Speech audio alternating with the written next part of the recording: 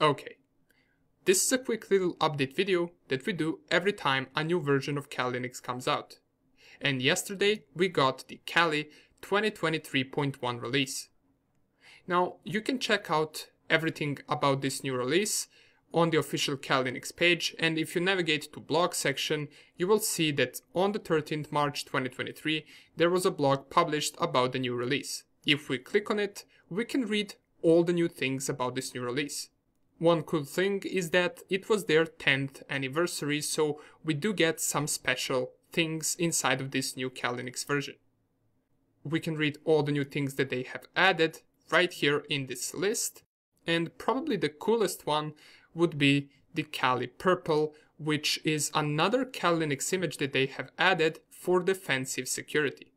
So for the past 10 years, Kali Linux was mostly specialized in offensive security, but now they've created additional image that will be focused on the defensive side of security, mainly for blue and purple teams. Now this is not really that important for us for the course, but nonetheless it's cool thing to know, so if you want to try it out, feel free to try it out, but for the course we need the original Kali Linux version.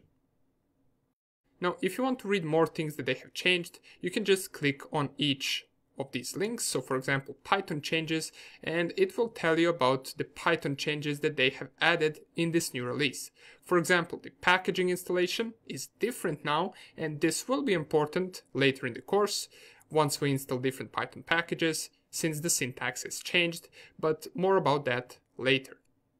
If you want to read more about the new Linux version, feel free to navigate to this page, and if you want to download the newest Kali Linux version, you go to get Kali and then installer images and you want to download the 64-bit installer or 32-bit if your machine is 32-bit and for the M1 and M2 chips you want to download Apple Silicon. But for a regular PC that is 64-bit, you want to go with this 64-bit installer. Now if you also want to try out the Kali Purple, which is the new thing that they have added, you can navigate down and here is the Kali Purple version with tools for defensive security. Nonetheless, I always recommend that you download the newest version available, so if there is a newer version available other than 2023.1, feel free to download the newest one, but if for some reason you want to download an older version of Kali Linux, perhaps the one that we use in the course, you can navigate to the old.kali.org and it will open this page where you can click on base images and you will have all the previous Kali Linux versions and their images, so feel free to download whichever one that you prefer. And last thing is, here is how the new Kali Linux looks like, so pretty much the only thing that has changed is the wallpaper, at least the only thing that we visually see changing is the wallpaper from the previous version, but other than that, for the course everything else would be the same, all the tools are still here and nothing really of importance has changed regarding the course. Okay, let's not make this any longer and let's get back straight to the course.